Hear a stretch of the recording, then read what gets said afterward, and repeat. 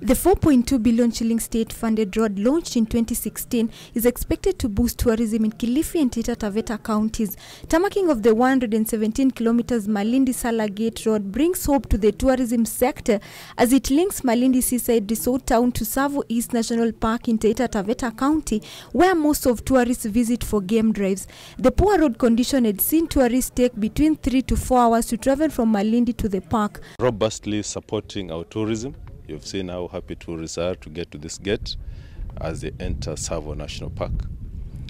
Uh, actually, this road is supposed to support uh, Galana Kulalu also, because Galana Kulalu from this road is only 10 kilometers. So you can be sure that uh, the produce that will come from Galana Kulalu will be carried by this road. The tarmacking of the road is among projects being implemented by the government through the Kenya Rural Roads Authority's 10,000 low volume seal roads program.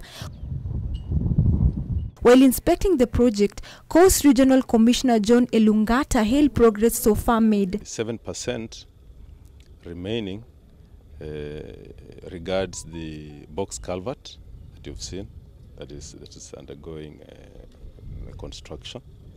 We expect that it will be complete in the next three weeks or so. And then uh, the contractor will do the markings and the road furniture. And by about um, Uh, November 1 there, November 2nd, we should be done.